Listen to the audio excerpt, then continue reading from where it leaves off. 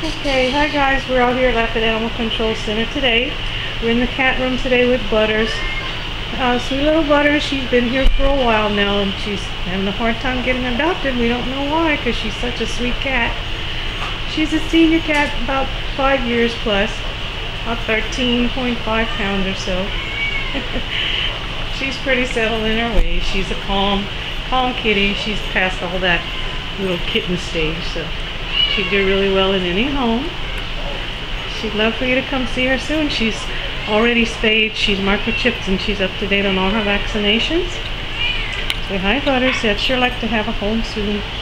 And she's so very pretty, and she's so sweet. And she needs a home. She's at Lafayette Animal Control Center at 613 West Pont de Mouton here in Lafayette.